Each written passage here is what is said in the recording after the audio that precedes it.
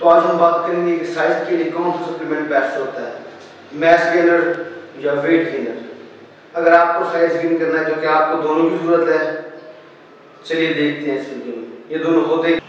Mass gainer wait gain करने के लिए आपको दो दो सप्लीमेंट की ज़रूरत नहीं है। इस वीडियो के एंड में आपको एक ऐसा सप्लीमेंट बताऊँगा, जो इन दोनों की कमी को पूरा करेगा तो वीडियो को एंड तक देखें तो सबसे पहले बात करते हैं मैस्कुलर की। मैस्कुलर ऐसा सप्लीमेंट होता है, जो कि प्रोटीन, कार्बन, फैट प्रोवाइड करता है आपको। इस पर्पस के लिए ताकि आप मसल मैस ऐड कर सके या मसल मैस ऐड करने के लिए आपको हेल्प मिल सके। हाई हाई कैलोरीज प्रोटीन होने की वजह से ये आपकी डेली कैलोरीज की इनटेक को बढ़ा देता है, जिससे आपको मसल मैस हासिल करने में आसानी रहती है।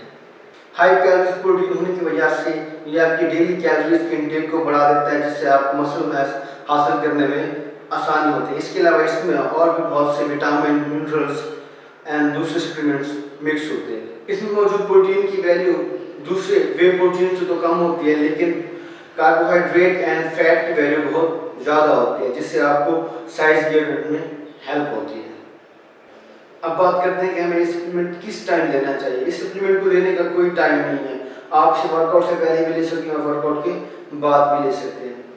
जैसे कि मैंने आपको पहले बताया था कि मैं इस वीडियो के लास्ट में आपको बताने वाला हूँ, वो ऐसा कौन सा सप्लीमेंट है जो आपके लिए बेस्ट है? तो अब बात करते हैं हम वेट गेनर की, कि वेट गेनर क्या होते हैं?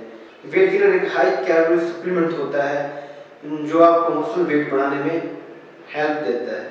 इसके अलावा इसमें protein carbs fat vitamin minerals and दूसरे सप्लीमेंट लाइक क्रिटाइन वगैरह बहुत ज़्यादा अमाउंट में मिक्स होते हैं। Weight gainer have less quantity of protein as compared to mass gainer mass gainer की निस्बत वेट गेनर में प्रोटीन की जो क्वांटिटी होती है वो बहुत कम होती है। और प्रोटीन हमें क्यों ज़रूरी है वो आप सबको पता है कि जितना ज़्यादा हमारा प्रोटीन होगा, उतना ज़्यादा हमारा मसल इन्हेंस होगा, यानी कि मसल रिकवर होगा मसल बिल्ड होगा। और ज़्यादा प्रोटीन आपकी मसल ग्रोथ को ज़्यादा इन्हेंस करता है। अब बात करते हैं वेट गेनर को लेने के, जो बेस्ट टाइम है, वो क्या आप इसे मॉर्निंग में भी ले सकते हैं, अपनी डेली डाइट में भी ले सकते हैं मील के साथ एंड उसके अलावा आप इसे वर्कआउट के बाद भी ले सकते हैं। तो इसका कोई ऐसा खास इशू नहीं है लेने का। जैसे कि मैंने आपको बताया था कि लास्ट में मैं आपको वो सब बताऊँगा जो आपके लिए बेस्ट है मैश एंड वेट दोनों गेम करने के लिए। तो सप्लीमेंट का नाम मैंने नीचे डिस्क्रिप्शन बॉक्स में डाल दिया है तो आप वहाँ से वो देख सकते हैं। उम्मीद करता हूँ आज की वीडियो आपको बहुत पसंद आई होगी।